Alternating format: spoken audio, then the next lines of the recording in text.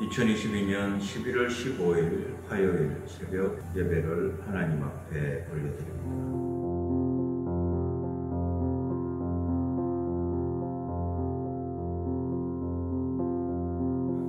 모세가, 대답하여 이르되 그러나 그들이 나를 믿지 아니하며 내 말을 듣지 아니하고 이르기를 여호와께서 내게 나타나지 아니하셨다 하리이다.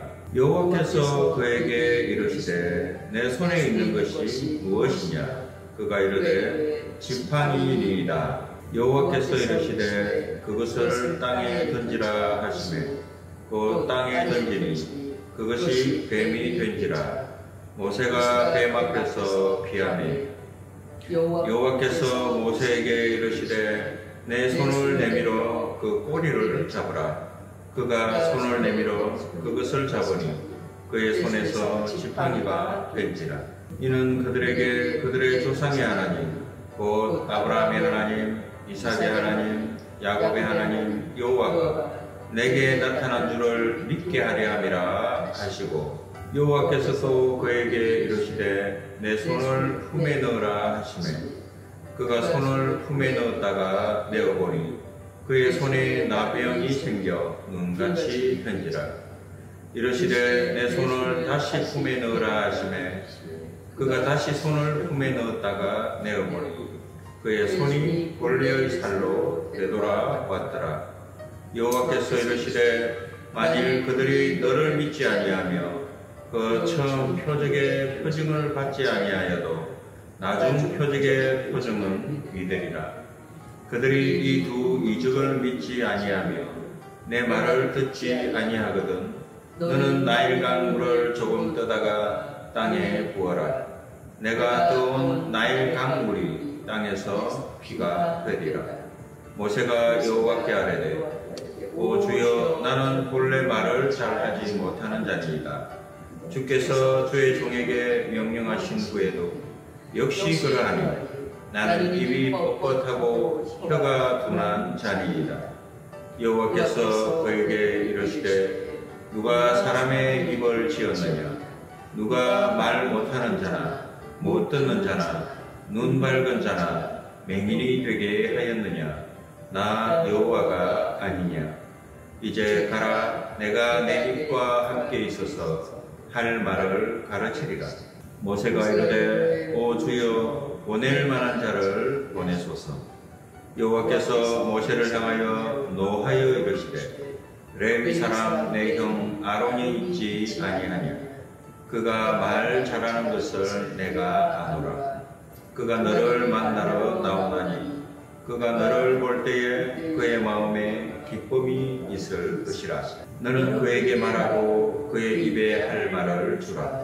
내가 내 입과 그의 입에 함께 있어서 너희들이 행할 일을 가르치리라. 그가 너를 대신하여 백성에게 말할 것이니 그는 내 입을 대신할 것이요 너는 그에게 하나님같이 되리라. 너는 이 지팡이를 손에 잡고 이것으로 이적을 행할지니라. 모세가 그의 장인 이드로에게로 돌아갔어. 그에게 이르되 내가 애굽에 있는 내 형제들에게로 돌아갔어. 그들이 아직 살아있는지 알아보려 하오니 나로 가게 하소서.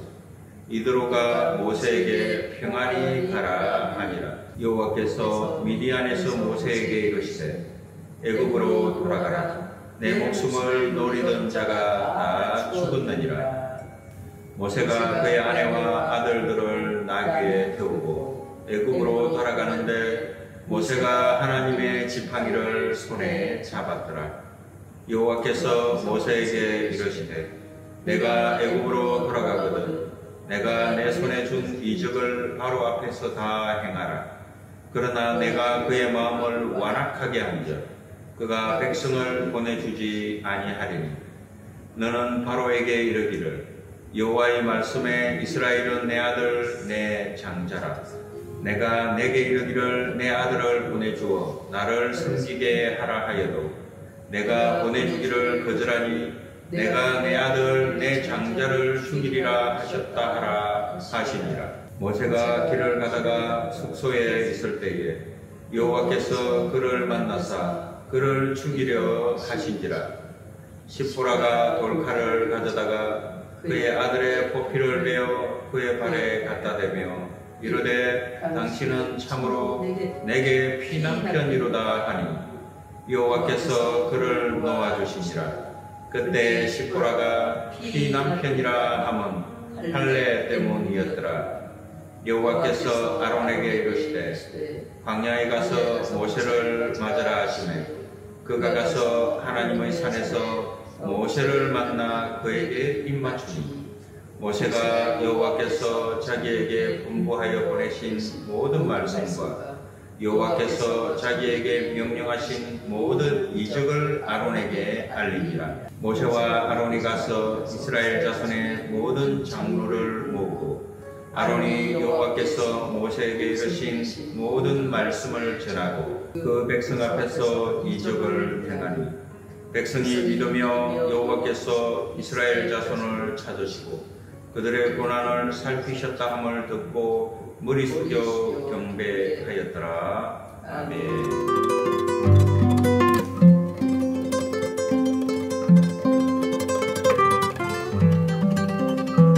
이스라엘 백성은 애굽에서 400년 동안 노예 살이를 하였습니다. 이들은 괴로워서 하나님께 부르짖었습니다. 하나님은 이스라엘의 부르짖음을 들으시고 이스라엘을 적과 꿀이 흐르는 가나안 땅으로 인도하고자 하십니다. 하나님은 이 큰 일을 하시기 위해서 모세를 부르셨습니다. 그러나 모세는 자신을 바라보면서 자신은 이 큰 일을 할 수 없다고 하였습니다. 하나님은 이런 모세에게 하나님의 지팡이를 주어서 확신을 갖게 하셨습니다. 1절을 보세요. 모세가 대답하여 이르되 그러나 그들이 나를 믿지 아니하며 내 말을 듣지 아니하고 이르기를 여호와께서 내게 나타나지 아니하셨다 하리이다. 아멘. 모세는 하나님의 부르심을 들으면서 40년 전에 자신이 실패했던 그 일이 생각났습니다. 모세는 이스라엘을 구원하기 위해서 애굽의 왕자 자리도 버렸던 사람이죠. 그리고 그들의 분쟁의 문제를 돕고자 했습니다. 그러나 이스라엘 백성은 과거 모세를 살인자로 바로에게 신고했던 적이 있죠. 모세는 자신을 배척한 이스라엘 사람들이 지금도 자신의 말을 듣지 않을 것이라고 생각했습니다. 하나님께서 모세에게 나타난 것도 인정하지 않을 것이다. 백성에게 얘기해봤자 믿지 않을 것이다. 이렇게 생각했습니다. 모세의 마음속에는 과거의 상처로 두려움과 불신이 있었습니다. 마음에 사람들에 대한 깊은 상처가 있었습니다. 우리 속담에 보면 떡지고 시루 엎었다라는 말이 있습니다. 모든 일을 망쳤다는 거죠. 모세의 마음이 지금 그런 상태입니다. 그는 실패했고 40년 동안 양을 치는 목자였습니다. 그는 이스라엘 백성을 인도할 수 없는 사람이라고 스스로 생각했습니다. 2절로 4절을 보십시오. 여호와께서 그에게 이르시되 내 손에 있는 것이 무엇이냐? 그가 이르되 지팡이니이다. 여호와께서 이르시되 그것을 땅에 던지라 하시매 곧 땅에 던지니 그것이 뱀이 된지라. 모세가 뱀 앞에서 피하며 여호와께서 모세에게 이르시되 내 손을 내밀어 그 꼬리를 잡으라. 그가 손을 내밀어 그것을 잡으니 그의 손에서 지팡이가 된지라. 아멘.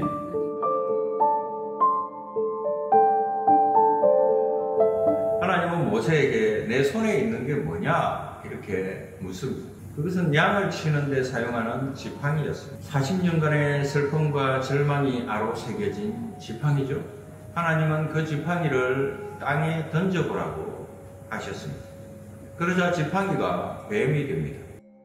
하나님은 첫 번째 이적으로 지팡이가 뱀이 되는 이적을 보여주셨습니다. 절망의 지팡이가 하나님의 능력의 지팡이가 된 것입니다. 그 뱀은 애굽에 많이 사는 코브라일 것입니다.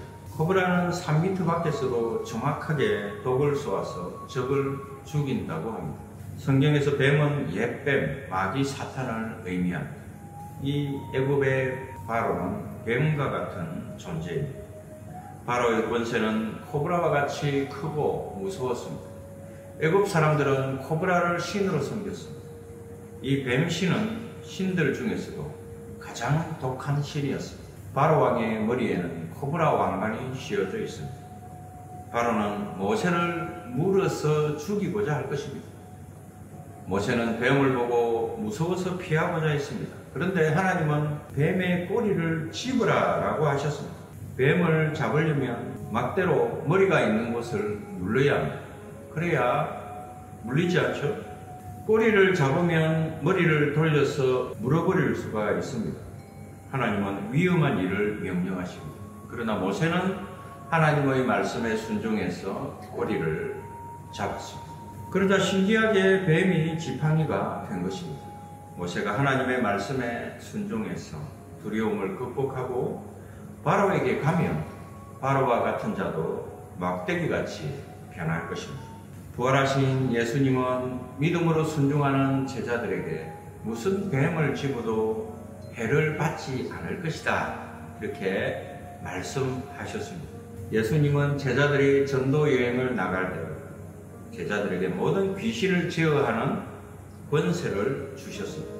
실제로 사도 바울이 밀레도 섬이라는 곳에서 뱀에게 물린 적이 있죠. 모든 사람들이 바울이 죽을 줄 알았습니다. 그러나 바울은 죽지 않았습니다. 하나님은 믿고 순종하는 자를 바로와 같은 사단의 세력에서 구원하여 주십니다. 바울이 빌립보에 있을 때 귀신 들린 자가 바울을 따라다니며 괴롭혔습니다. 바울은 명령했습니다. 그 귀신에게 바울이 명령을 합니다. 사도행전 16장 18절 말씀입니다. 바울이 심히 괴로워하여 돌이켜 그 귀신에게 이르되 예수 그리스도의 이름으로 내가 내게 명하노니 그에게서 나오라 하니 귀신이 즉시 나오니라. 아멘. 예수님은 부활의 주님을 믿는 우리에게 귀신을 이기는 능력을 주십니다. 오늘 본문 5절을 보세요. 이는 그들에게 그들의 조상의 하나님, 곧 아브라함의 하나님, 이삭의 하나님, 야곱의 하나님 여호와가 내게 나타난 줄을 믿게 하려 함이라 하시고 아멘. 뱀을 지팡이가 되게 하신 하나님은 아브라함의 하나님, 이삭의 하나님, 야곱의 하나님이십니다. 무슨 말입니까? 전능의 하나님이라는 뜻이죠. 모세에게 사단을 제어하는 권세를 주셔서 아브라함과 이삭과 야곱의 하나님이 나타난 것을 믿게 하고자 한 것입니다. 전능의 하나님은 히브리어로 엘 샤라이라고 하죠. 아브라함과 이삭과 야곱의 하나님은 죽어 있는 하나님이 아니고 살아계신 하나님입니다. 그 하나님은 죽은 자를 살리시는 하나님이십니다. 하나님은 지금도 살아계셔서 우리에게 전능하신 분으로 항상 우리를 도우십니다. 우리와 인격적인 관계를 맺으시는 하나님이시죠? 우리 삶의 현실에서 구체적으로 일하시는 하나님이십니다.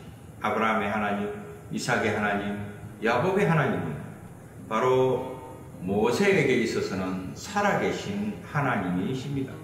모세가 이 하나님을 믿고 나가면 바로는 지팡이 같이 아무것도 아닌 존재가 된다 이런 뜻입니다. 모세의 하나님은 엘리야의 하나님이 되시고 우리의 하나님이십니다. 우리는 하나님을 믿고 믿음으로 순종하며 나가야 합니다. 6절로 8절을 보세요. 여호와께서 또 그에게 이르시되 내 손을 품에 넣으라 하시니 그가 손을 품에 넣었다가 내어 보니 그의 손에 나병이 생겨 눈같이 된지라. 이르시되 내 손을 다시 품에 넣으라 하시니 그가 다시 손을 품에 넣었다가 내어 보니 그의 손이 원래의 살로 되돌아 왔더라. 여호와께서 이르시되 만일 그들이 너를 믿지 아니하며 그 처음 표적의 표징을 받지 아니하여도 나중 표적의 표징은 믿으리라. 아멘. 하나님은 처음 표적을 보고 하나님이 모세에게 나타난 것을 믿지 않을 수 있었습니다. 그때는 두 번째 표적을 보이면 믿을 것이다. 이렇게 말씀하셨습니다. 둘째 표적은 손을 품에 넣으면 나병이 나는 것입니다. 나병은 성경에서 하나님의 심판을 의미합니다. 나중에 누나 미리암이 모세를 비방하다가 나병에 걸린 적이 있죠. 민수기 12장 10절입니다. 구름이 장막 위에서 떠나갔고 미리암은 나병에 걸려 눈과 같더라. 아론이 미리암을 본적 나병에 걸렸는지라. 아멘. 하나님은 모세를 대적하는 자에게 나병을 내려서 심판을 하십니다. 모세가 순종하여 손을 품에 넣었다가 빼니까 손에 나병이 생겼습니다. 모세는 손에 나병이 나서 무척 두려웠을 것입니다. 하나님은 모세에게 다시 나병이 난 손을 품에 넣으라고 하셨습니다. 그대로 순종했습니다. 병이 나았습니다. 하나님은 질병을 치료하는 신유의 은사도 주십니다. 라파의 하나님. 부활하신 예수님을 믿는 자는 병든 자에게 손을 얹으면 낫는다 라고 말씀하셨습니다.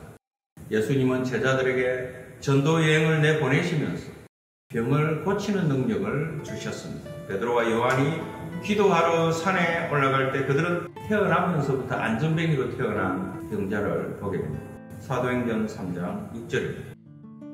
베드로가 이르되 은과 금은 내게 없거니와 내게 있는 이것을 내게 주노니 나사렛 예수 그리스도의 이름으로 일어나 걸으라 하고 명했습니다. 그의 오른손을 잡아 일으키자 그는 걷기도 하고 뛰기도 하며 그 다음에 뭐라고 했죠? 하나님을 찬송했습니다. 예수님은 제자들에게 병 고치는 능력을 주시고 복음을 더 확실히 증거하여 주셨습니다. 병 고치는 능력을 왜 주셨다고요? 복음을 증거하기 위한 것입니다. 우리도 예수님을 믿음으로 병자에게 기도하면 하나님은 은혜를 베푸시고 치료의 역사를 이루어 주십니다. 육신의 병도 치료하시고 마음의 병든 자도 치료하여 주십니다. 하나님이 우리와 함께 하십니다. 이런 치료의 역사를 이루셔서 하나님의 말씀을 확실히 증거하도록 하십니다. 우리는 이런 주님의 능력이 우리와 함께 하기 때문에 우리는 담대히 우리에게 주신 사명을 감당할 수가 있는 것입니다. 오늘 본문 9절입니다. 그들이 이 두 이적을 믿지 아니하며 내 말을 듣지 아니하거든 너는 나일강 물을 조금 떠다가 땅에 부어라 내가 떠온 나일강 물이 땅에서 피가 되리라 아멘 하나님은 세 번째 표적으로 나일 강물이 피가 되게 하셨습니다. 나일 강은 애굽의 젖줄이죠. 하나님은 애굽을 심판하여 불순종할 때 그들의 젖줄을 끊으십니다. 하나님은 바로가 하나님의 말씀을 듣지 않으실 때 실제로 재앙으로 나일 강물이 피가 되게 하셨습니다. 물이 피로 된 것은 하나님의 애굽에게 주신 첫 번째 재앙입니다. 열 가지 재앙의 시작이죠. 하나님은 완악한 바로에게 계속하여 열 가지 재앙을 내리십니다. 하나님은 열 번째 마지막으로 애굽 사람 장자의 피를 흘리게 하는 죽음의 재앙으로 그들을 심판하십니다. 하나님의 이런 심판이 있기 때문에 모세는 바로와 싸워서 이길 수가 있었던 것이죠. 바울이 1차 전도 여행을 할 때 바 예수라고 하는 사람은 서기오 바울이 복음을 듣는 것을 방해했습니다. 바울이 그를 저주하자 그는 소경이 되어버리고 말았습니다. 사도행전 13장 4절로 12절 말씀인데요. 우리 함께 다 읽어보겠습니다. 두 사람이 성령의 보내심을 받아 실루기아에 내려가 거기서 배 타고 구브로에 갔습니다. 살라미에 이르러 하나님의 말씀을 유대인의 여러 회당에서 전할세 요한을 수행원으로 두었더라. 온 섬 가운데로 지나서 바보에 이르러 바 예수라 하는 유대인 거짓 선지자인 마술사를 만나니 그가 총독 서기오 바울과 함께 있으니 서기오 바울은 지혜 있는 사람이라 바나바와 사울을 불러 하나님의 말씀을 듣고자 하더라. 이 마술사 엘루마는 이름을 번역하면 마술사라. 그들을 대적하여 총독으로 믿지 못하게 힘쓰니 바울이라고 하는 사울이 성령이 충만하여 그를 주목하고 이르되 모든 거짓과 악행이 가득한 자요 마귀의 자식이요 모든 의의 원수요 주의 바른 길을 굽게 하기를 그치지 아니하겠느냐 보라 이제 주의 손이 내 위에 있으니 내가 맹인이 되어 얼마 동안 해를 보지 못하리라 하니 즉시 안개와 어둠이 그를 덮어 인도할 사람을 두루 구하는지라. 이에 중독이 그렇게 된 것을 보고 믿으며 주의 가르치심을 놀랍게 여기니라. 아멘.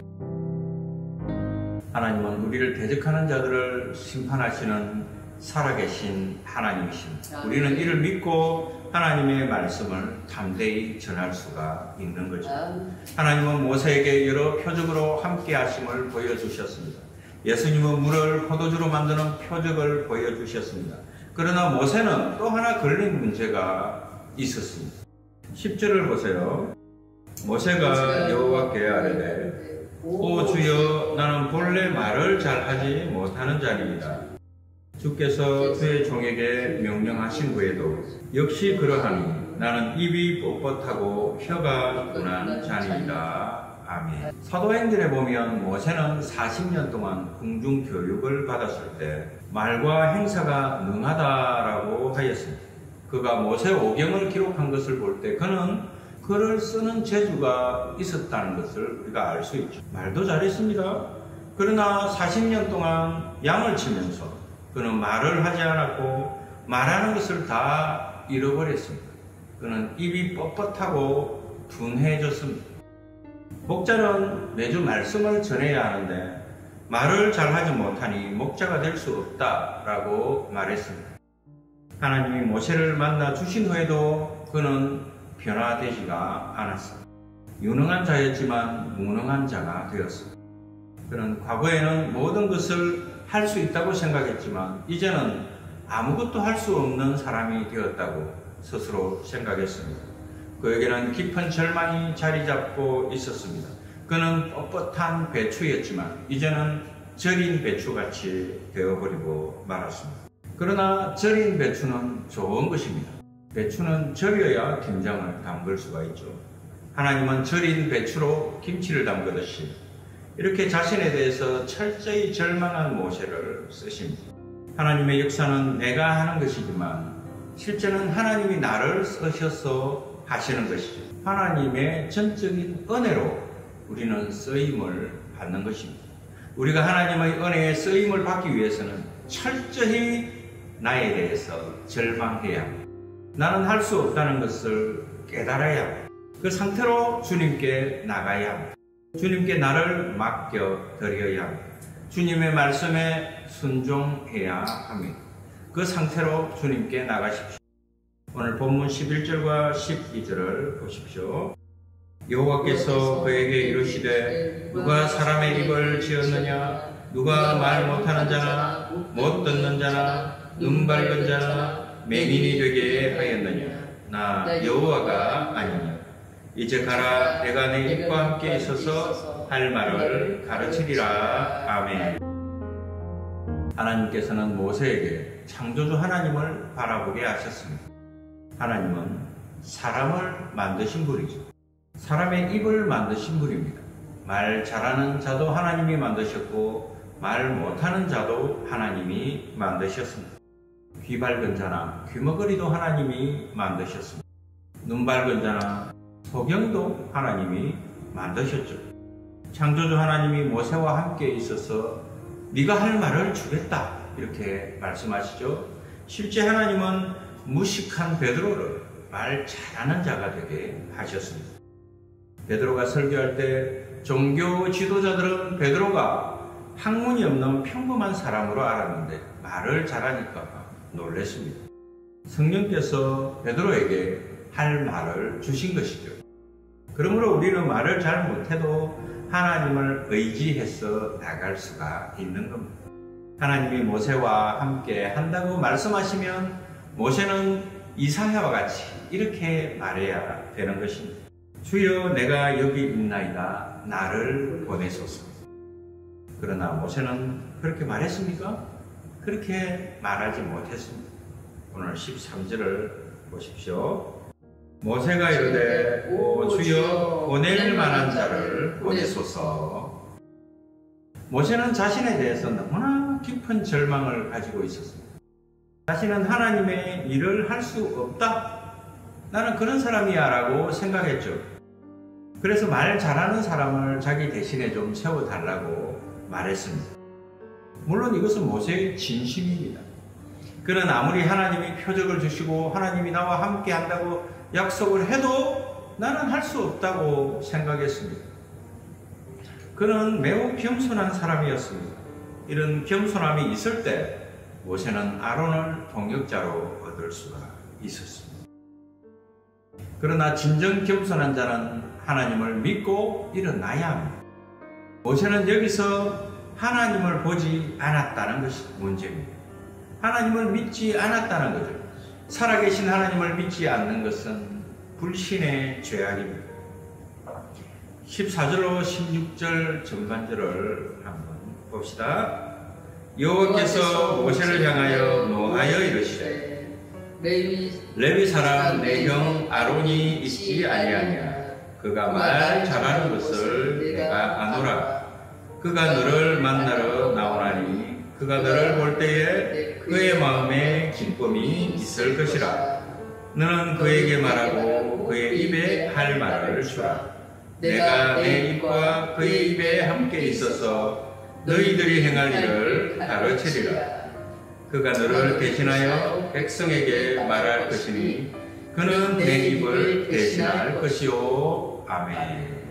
하나님은 모세의 불신에 대해서 화를 내시고 책망하셨습니다.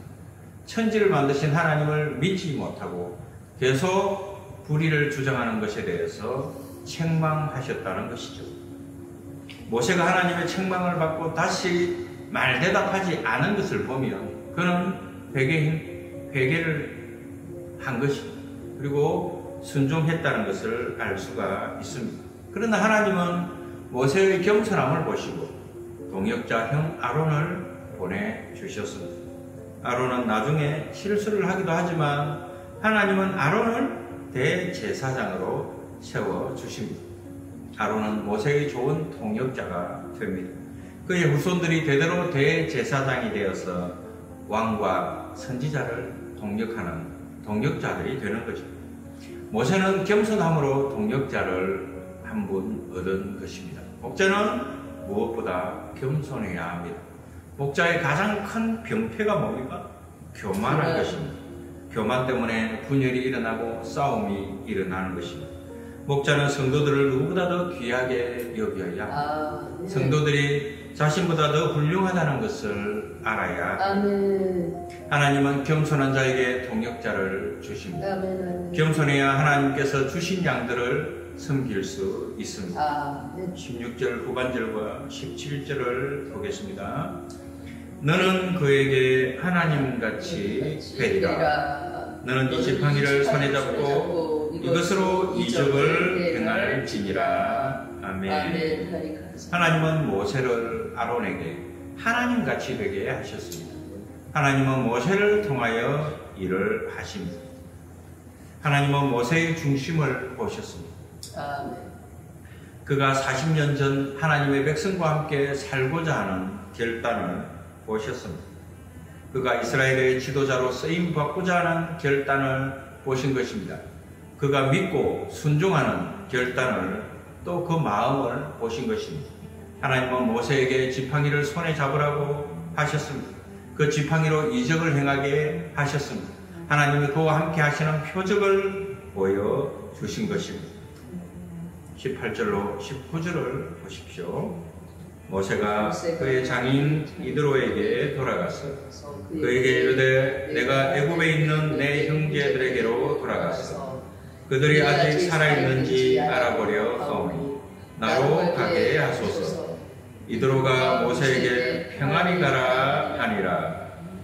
여호와께서 미디안에서 모세에게 이르시되 애굽으로 돌아가라. 내 목숨을 노리던 자가 다 죽었느니라. 아멘. 모세가 순종할 때 하나님은 모세에게 두 가지 문제를 해결해 주셨습니다. 첫째, 장인의 허락을 받게 하셨습니다. 모세는 40년 양을 치던 좋은 일꾼이었습니다. 마치 라반이 야곱을 놓아주려고 하지 않듯이 장인 이드로도 모세를 놓아주려고 하지 않겠죠. 일꾼인데. 그러나 하나님은 이드로의 마음을 감동시키고 모세와 아내를 보내 주었습니다. 둘째는 모세의 마음에 두려움을 제거해 주셨다는 거죠. 모세는 자신을 죽이려고 하던 바로가 두려웠을 겁니다. 하나님께서는 모세를 찾던 바로가 죽었다는 것을 말씀하여 주시고 모세의 마음속에 두려움을 없애 주셨습니다. 오늘 20절을 보세요. 모세가 그의 아내와 아들들을 나귀에 태우고 애굽으로 돌아가는데 모세가 하나님의 지팡이를 손에 잡았더라. 아멘. 아주 멋있는 표현이죠. 모세는 지팡이 하나만 가지고 애굽으로 돌아갑니다. 제자는 그 지팡이를 하나님의 지팡이라고 기록하고 있습니다. 그는 오직 하나님의 지팡이만 가지고 갑니다. 이 지팡이는 그가 이제까지 광야에서 사용했던 목자의 지팡이입니다. 그의 손에 아주 익숙한 거죠. 지팡이에는 모세의 체념과 절망이 깊이 바로 새겨져 있습니다. 그러나 하나님이 모세와 함께 하시자 그 지팡이는 엘 샤다이 아. 능력의 지팡이가 됩니다. 하나님의 지팡이가 된다는 거죠. 아멘. 마른 지팡이가 무슨 힘이 있는 것이 아니라 그것을 쓰시는 하나님의 능력이 크다는 것입니다. 지팡이 같은 우리도 하나님께 드려지면 능력의 지팡이가 된다는 것입니다. 모세는 이 지팡이로 바로에게 열 가지 재앙을 내립니다. 이 지팡이로 홍해가 갈라져 육지가 육지같이 되게 하죠. 이 지팡이로 바위에서 샘물을 나게 하십니다. 이 지팡이를 들고 기도하자 아말렉과의 싸움에서 이기기도 합니다. 그는 오직 하나님의 능력만을 의지하며 나갔습니다. 하나님은 40년 광야 생활을 통하여 모세에게 모든 것을 내려놓게 하셨습니다. 왕자도 돈도 명예도 권세도 다 내려놓게 하셨습니다. 그리고 오직 하나님 한 분만을 의지하게 하신 것입니다. 아, 네. 그때 모세는 능력 있는 지도자가 되었습니다. 예수님은 제자들이 전도 여행을 나갈 때 아무것도 가지고 가지 말라 이렇게 말씀하시죠. 지팡이 외에는 양식이나 배낭이나 전대나 돈이나 아무것도 가지고 가지 말라라고 말씀하셨습니다. 그들이 모든 것을 버리고 하나님 한 분의 능력으로 나가라 라고 하시죠. 하나님은 이런 제자들에게 능력을 주시고 전도 여행을 성공적으로 행하게 하십니다. 현대 사는 지도자들이 하나님의 능력을 상실한 것에 대해서 우리는 깊은 문제의식을 가지고 있어야 합니다. 그 첫 번째 이유가 너무나 많은 것을 가지고 있기 때문이죠. 모세가 하나님의 지팡이를 소유하기 위해서 40년간 내려놓는 훈련이 있었다는 것을 알아야 합니다. 예수 전도단을 시작한 로렌 커닝햄 목사의 간증입니다. 그는 많은 유산을 상속받을 수 있던 집안이었, 집안의 사람이었습니다. 하지만 그는 전 재산을 포기했습니다. 그는 자신의 사랑하는 아들도, 자기 자신도, 명예도, 감정도 다 하나님께 내려 놓았습니다. 그리고 하나님만 의지했습니다. 하나님은 그를 통하여 큰 일을 행하셨습니다. 이 용규 선교사가 하버드 박사학위와 미국 시민권과 자신의 명예와 자존심까지 내려놓고 하나님을 의지했을 때 하나님이 크신 은혜를 주셨습니다. 우리가 하나님의 능력을 체험하기 위해서는 우리는 우리가 가진 것을 내려놓아야 합니다. 오직 하나님 한 분만 의지해야 합니다. 아멘. 그래야 능력 있는 종이 될 수 있습니다. 아멘. 21절로 23절을 보겠습니다. 여호와께서 모세에게 이르시되 내가 애굽으로 돌아가거든 내가 내 손에 준 이적을 바로 앞에서 다 행하라. 그러나 내가 그의 마음을 완악하게 하며 그가 백성을 보내주지 아니하리니 너는 바로에게 이르기를 여호와의 말씀에 이스라엘은 내 아들 내 장자라 내가 내게 이르기를 내 아들을 보내주어 나를 섬기게 하라 하여도 내가 보내주기를 거절하니 내가 내 아들 내 장자를 죽이리라 하셨다 하라 하시니라 아멘. 하나님께서는 모세가 지팡이로 모든 이적을 행해도 바로가 이스라엘을 보내주지 않겠다고 하였습니다. 바로는 마음이 완악해서 이스라엘 백성을 보내주지 않았습니다. 바로는 욕심으로 하나님의 말씀에 순종하지 않습니다. 바로가 보내지 않고자 하는 이스라엘이 누굽니까? 이스라엘은 하나님께서 내 아들, 내 장자라고 하셨습니다. 하나님은 이스라엘을 장자로 택하셨습니다. 그들이 하나님을 경외하며 섬기도록 하셨습니다. 바로가 하나님의 장자를 보내지 않으면 하나님께서 애굽의 장자를 치십니다. 욕심이 있는 바로에게 하나님은 바로의 장자를 심판하신다는 거죠. 그때 바로는 하나님의 장자인 이스라엘을 보내게 됩니다. 장자는 귀한 것이죠. 장자는 하나님께 드려야 합니다. 이것이 성경에 반복되어 나오는 사상입니다. 장자를 드려야 하나님께서 나머지를 책임져 주신다는 이야기입니다. 애굽 사람이 이스라엘을 하나님께 드리는 것은 큰 노동력의 손실로 생각했습니다. 그러나 이스라엘을 내어 보내는 것이 그들에게 결코 손해가 아닙니다. 하나님은 하나님을 이스라엘 하나님은 이스라엘을 받으시고 이를 통하여 애굽도 하나님의 자녀로 축복해 주실 것입니다. 장자를 바치는 것이 하나님이나 이스라엘이나 애굽에 다 좋은 일입니다. 우리는 장자에 대해서 욕심을 버리고 온전히 하나님께 드려야 합니다. 우리 첫 열매를 드리고 가장 귀한 것을 드려야 합니다. 아멘. 24절로 26절을 보겠습니다. 모세가 길을 가다가 숙소에 있을 때에 여호와께서 그를 만나사 그를 죽이려 하신지라. 모세.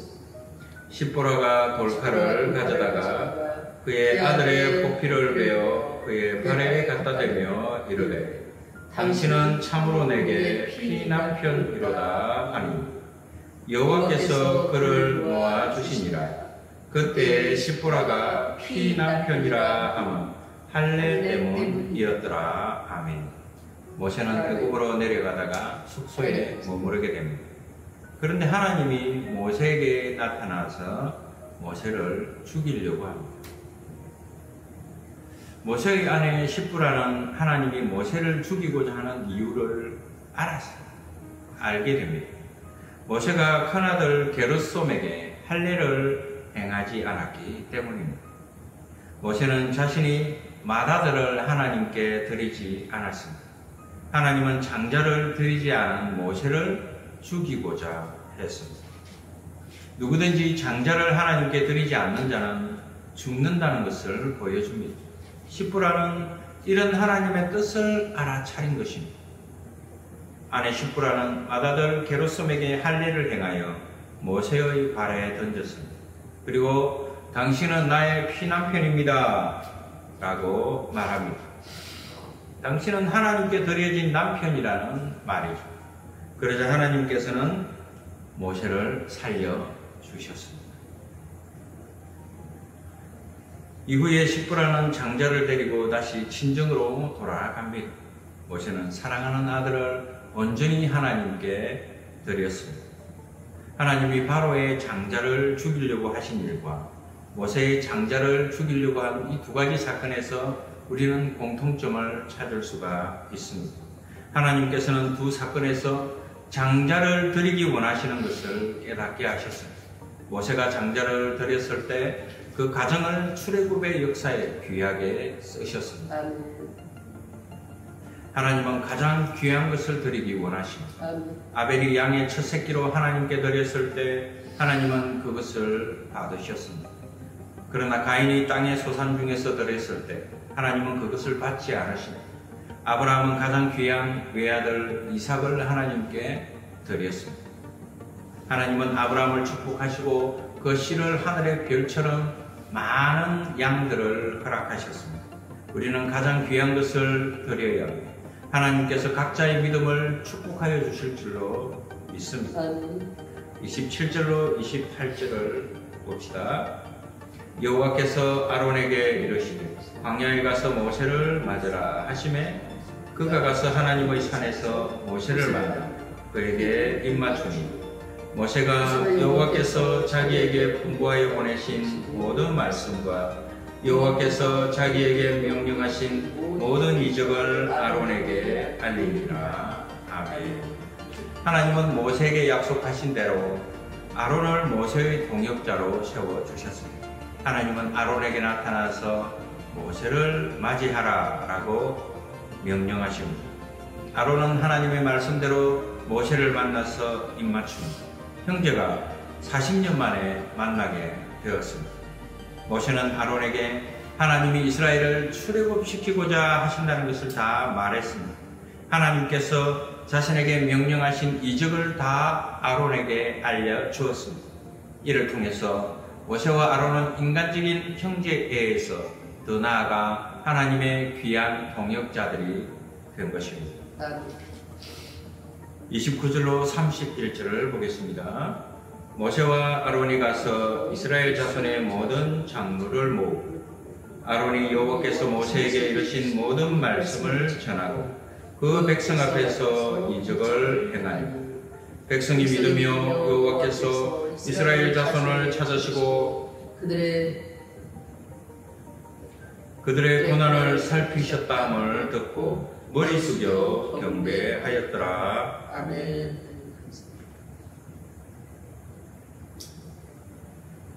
이제 모세와 아론은 이스라엘 자손의 장로를 다 모았습니다. 아론은 이들에게 하나님께서 모세에게 하신 말씀을 다 전했습니다. 모세는 이들 앞에서 하나님이 주신 이적도 행했습니다. 그들은 모세를 믿고 그들은 모세를 믿고 머리 숙여 하나님께 경배했습니다. 결론적으로 우리가 지금 가진 것은 무엇입니까? 우리가 가진 것을 주님께 내려 놓아야 합니다. 가장 귀한 것을 드려야 합니다. 아멘. 그러면 하나님께서 우리에게 능력의 지팡이를 주실 것입니다. 하나님이 우리와 함께 하시고 능력을 행하여 주실 것입니다. 우리가 하나님의 지팡이를 잡고 고두 마을의 구원 역사를 섬기기를 기도합니다. 아, 하나님의 지팡이를 잡고 하나님 나라를 건설할 수 있기를 기도합니다. 아멘. 아멘.